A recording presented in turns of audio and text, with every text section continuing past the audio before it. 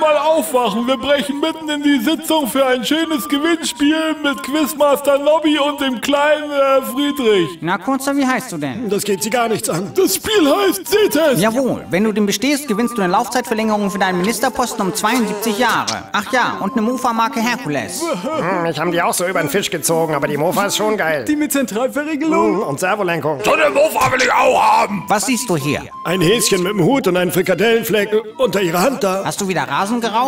Versuch's nochmal. Das ist ein Elefant mit einem Geräteschuppen in der Hosentasche. Der Simulant hat doch bloß keinen Bock mehr für die Angelika immer die E-Mails zur Post zu bringen. Ah, den habe ich so verarscht. Der muss jetzt für immer die ganze Arbeit machen und ich kann in Ruhe auf dem polnischen Campingplatz Sangria saufen. Tut mir leid, Kurzer. Als einziger Teilnehmer wurdest du soeben zu lebenslänglich Innenminister verurteilt. Super.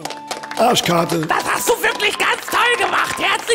Herzlichen Glückwunsch zu deiner Mofa. Na, mach dir mal nicht zu viele Hoffnungen, Rosella. Wir fahren das Ding doch sowieso bald an die Wand hier. Ich heiße Guido und habe auch eine Mofa. Fahren wir zusammen an die Wand? Naja, du mich auch, du Laberlappen. Achtung, eine Durchsage. Dafür sperrt eine Mofa die Einfahrt zum Keller mit dem Atommüll. Halt, komm zurück. Ich hab doch nur Spaß gemacht. Wir sind eins. ARD.